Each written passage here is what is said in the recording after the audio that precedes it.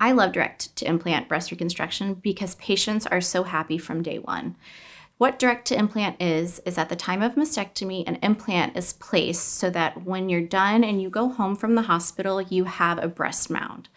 Now, not everybody is a candidate for direct implant reconstruction. I think the best candidates are those that are at their desired goal. So they come in with a B cup and they want to leave with a B cup so that we don't have to expand the tissue or decrease the tissue. Um, they're at their goal size.